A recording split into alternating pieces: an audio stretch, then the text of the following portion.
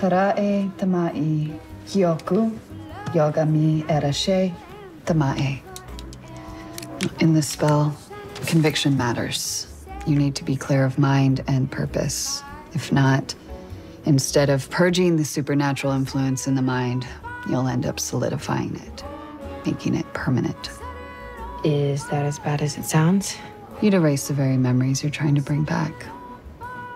How did you even find this spell? I siphoned it from an ancient sword to save my sister's life.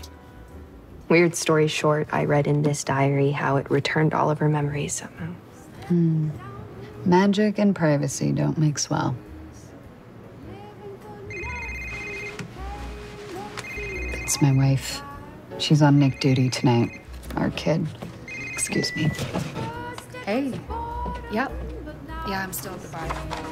How's Nick doing?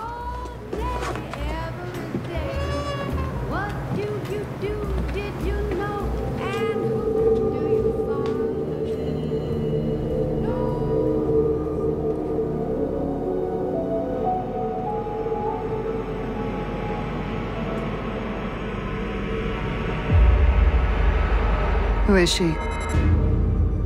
I knew you were hiding something from me.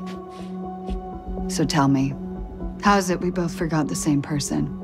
And if you didn't tell me that to begin with, I can only assume it's because you haven't decided what you're going to do with that spell. Have you? Who is that girl? Harai yomega arashi tamae.